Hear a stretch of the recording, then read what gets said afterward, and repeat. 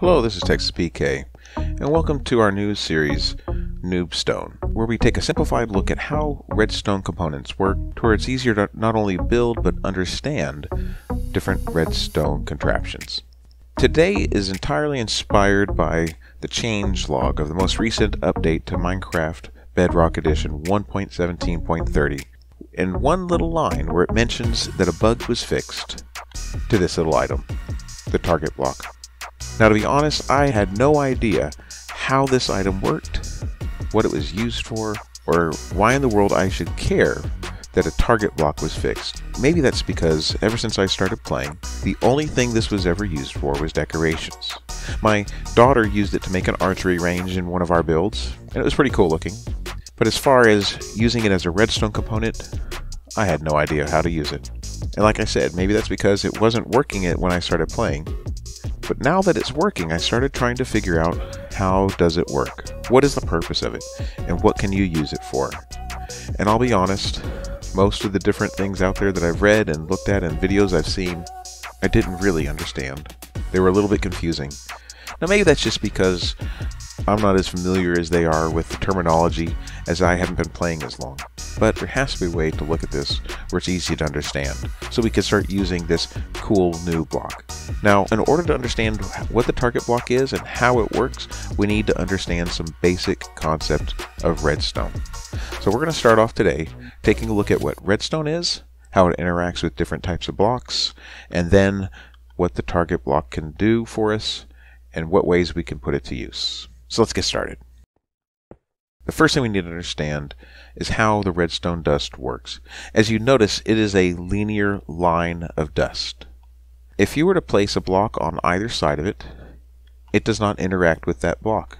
However, if you place it at the end of a redstone line, it will interact with it because the redstone dust terminates in this block. That means that when we flick a lever or press a button or activate the redstone dust in some way, it is actively powering this block. So what does that mean, that the block is actively powered? It basically means that if you have some device that is activated by a redstone signal, like a redstone lamp, anything touching this powered block will receive power. Now the thing is, is that this will go on any side of this block.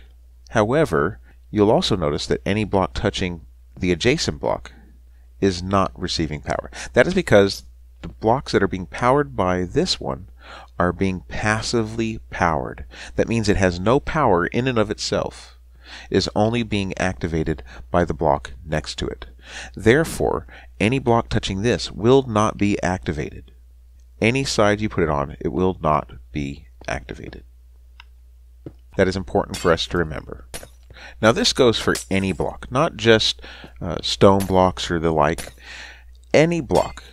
Redstone lamps, even though they are powered by redstone, are considered a standard type block in this regard. You'll notice it is powered, but it also will passively power a block on either side of it. However, the block adjacent to it is not actively powered, and so it does not pass its power to the adjacent block. So the question you might be having now is what types of blocks are standard type blocks and which ones are redstone interactive blocks. Basically, any redstone component interacts with the redstone dust. For example, a lever is a redstone component. So anywhere you place it near the redstone line, it will interact and redirect the redstone signal. Buttons are also redstone components, so they interact with the redstone dust. Repeaters are also redstone components and therefore they interact with the redstone dust. That is true for all of these blocks on this row here. The lectern, the daylight sensor, the jukebox, redstone torch, lightning rod, tripwire hook, piston, sticky piston, observer, redstone block, and redstone comparator. Now these blocks, whether they're the chest, the hopper, or any other standard type block, we're going to be using these for an example a little later, do not interact with the redstone dust. They may be powered by redstone components, but they do not interact and redirect redstone signals. So let's take a look at how this works then. As we said, standard blocks do not redirect the signal, and so therefore this block is not powered by the redstone signal. However, a repeater is a redstone component, so it will redirect the signal and will power the adjacent block. Now a repeater, if it has any signal input into it, outputs a full signal strength of 15. So this block is fully powered. That means that the block to the right, the block to the left, the block beyond it, and the block above it and below it will be passively powered as well. Of course, adjacent blocks are not. And that is true for any of the other blocks. They will redirect and take power. Let's try it with the piston. As you can see, if you were to place your piston to the side of this, whether it's this way or this way, or even this way, it redirects the signal. The only direction that this does not work is when you have it facing into the redstone dust. Any of the other sides that touch it will redirect it. The same is true for any of the other components that we see here. The observer, for example, does not interact with it on the front or the side, but only on the output, which is this little dot on the back of the observer. I would recommend experimenting with all the different components and you can see how they interact with the redstone dust. But those are the two that have unique interactions with how they line up with the redstone dust. Which leaves us with one last redstone component, the target block. Now the target block is very interesting and it's kind of unique. It acts a lot like a standard block, but it also interacts with redstone the same way a redstone component would. Let me show you what I mean. If we place a target block next to the redstone dust, you'll notice it redirects the redstone signal into the block. However, it also acts like a standard block, meaning that it is now powered and gives off a passive signal to all the different sides. But you will notice it does not give a full signal to the, any of the blocks. They are passively powered, therefore the lamps on either side are not activated. So in this way, it's very similar to a standard block, except it's interacting like a repeater. This has many implications on how the target block can change the way in which we do different circuits, especially things like sorting systems or logic circuits or other different components that may be more complicated that have to be very bulky. This will make it more streamlined and easy to do. Let me give you one example of what I'm talking about, and hopefully it'll make it clear what I mean. Now what I've done over here is I've made a line of 15 redstone lamps with one repeater into each and every one of them. Now if you were to flick this lever you would see all 15 of them light up because the redstone signal would reach the end of the redstone dust with a signal strength of 1 because it goes down by 1 each and every step of the way. And even if it has only a single signal strength, the repeater still sees it and so it fully activates the adjacent block. But what happens if you want to have a graduated signal. Now, a comparator is a very special device.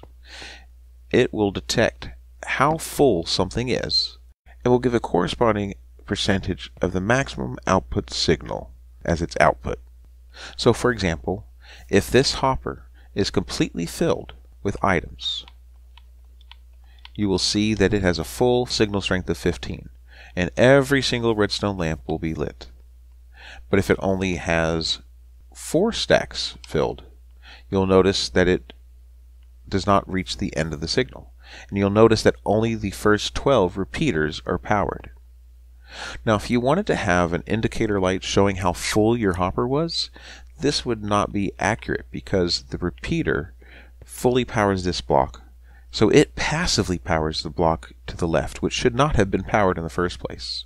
So prior to target blocks, if you wanted to have an output like this, you had to do something like this, where every other block had an extra repeater in it, in order to space the redstone lamps out so they don't passively power their neighboring redstone lamp.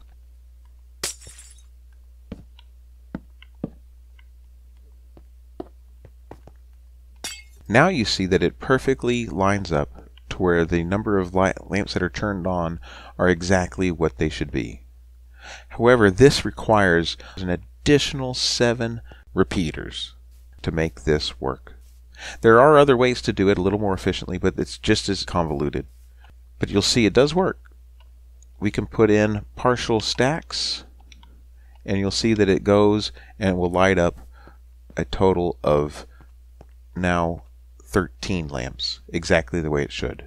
But with the introduction of the target block, this changes everything. Let me reset our lamps and I'll show you what I mean. Now as you can see, I have replaced every single one of the repeaters with a target block. And you will also see that every single one of them redirects the redstone dust into the respective target block. You'll also will notice that because our hopper is completely full, all 15 redstone lamps are powered. But if we were to remove one of them, you'll now see that only 12 of them are powered. And if we remove another stack, it should go down to 9, which it does. Remove another, it goes down to 6, and remove another, it goes down to 3.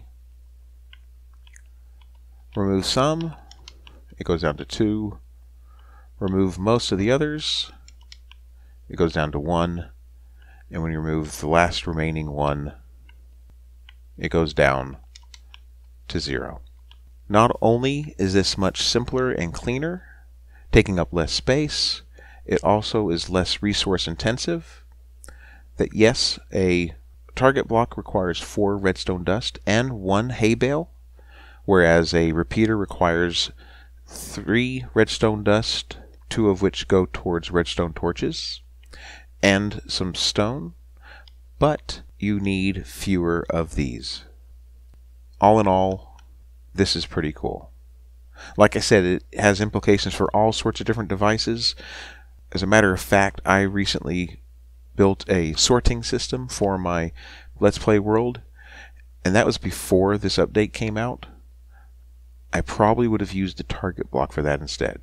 I plan on putting out a tutorial on how to build that sorting system, and I probably will do it with a modified version of it using the target block. It makes it a little more reliable, a little faster, because as I mentioned, repeaters have a one tick delay. Target blocks have no delay. They're instantaneous. Don't believe me? Let me show you real quick. Okay, I have a very basic comparison here for us to see. At one tick, it's almost impossible to see because a tick is very fast. Let me show you.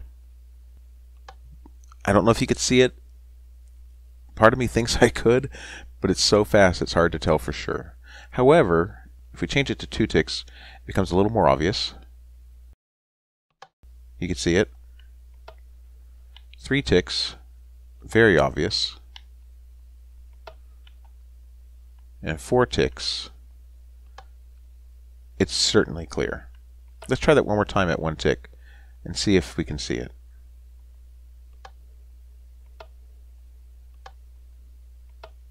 It's hardly distinguishable, but it is there. I'll be honest, I'm not sure I could see it at one tick, but at the 2 and the 3 and the 4 it's there. And knowing how they work, you know there is a delay. It's part of the design. Sometimes that's important. Sometimes it's good to have the delay.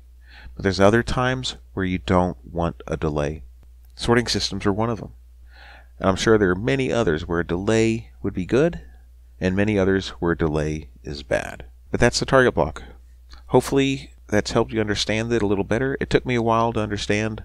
Fortunately, I have a little bit of a background in electronics and circuitry programming, so I was able to understand how it worked once I got my mind wrapped around how a target block actually interacts with the redstone dust. So I hope it helps you out. I hope you were able to put this into use somewhere. Like I said, I'll probably be putting out a tutorial on how to use this in a sorting system to improve performance over using some of the other methods and also do it a lot cheaper. But with that, that's all for now. Again, I'm Texas BK. I hope to see you again soon. But until then, be good to each other. Bye.